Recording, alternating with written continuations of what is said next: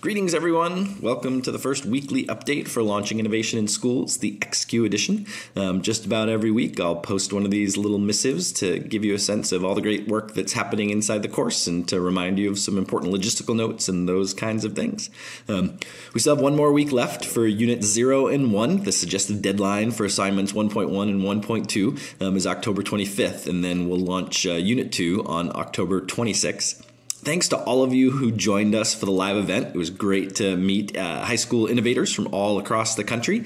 Um, if you missed that event, you should feel free um, to watch the recording and post any thoughts you have about it uh, in the forums great to see all the introductions that we've had in the forums. Really fun to meet folks from all across the country who are participating in this. Um, special welcome to all of you um, who've uh, introduced yourselves to us. Um, we're especially excited to hear from all of you who've been forming learning circles. Um, if you're in a learning circle, you can use the groups area to, of the forums to collaborate if that's helpful to you. Um, we also have a group specifically for learning circles facilitators where facilitators can talk to one another and get advice from some of our community TAs and staff about challenges or things they've found helpful in their face to face meetings. Um, we link some resources there to start, uh, but we encourage you to fill the space with your own ideas.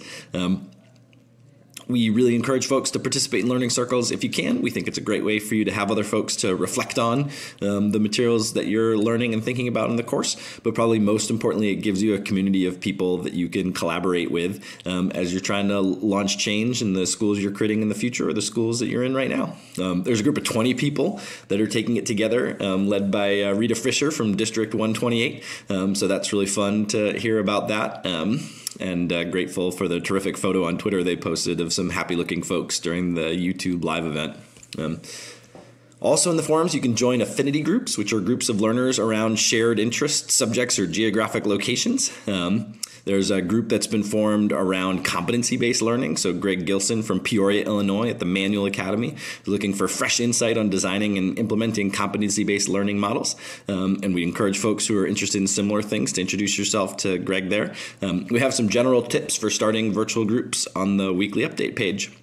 Um, some great conversation already in the forums around the This We Believe video and the uh, introduction to XQ edition. Um, Angelo Barbosa um, wrote about uh, um, how the vision for education needs to be, a, in fact, a driving force, um, and that uh, so many schools end up spending their time just focused on the day to day and uh, keeping things afloat. But there has to be some effort at thinking about uh, larger vision and larger challenges. Um, and then Shane Swift replied with how important it is for that vision to be truly shared so that the conversations that take place in lots of different contexts ultimately lead to inclusive models of leadership. So, really fun to see that folks are already um, in conversation with one another um, and with our colleagues from XQ and uh, all the other colleagues from across the country who are doing great work together. Excited to be learning on alongside you for the next few weeks. If you have uh, questions or comments or thoughts, please post them in the forum or you can find me um, on Twitter at, at BJFR. Um, just incredibly excited to start this journey with you and thanks for a terrific first week.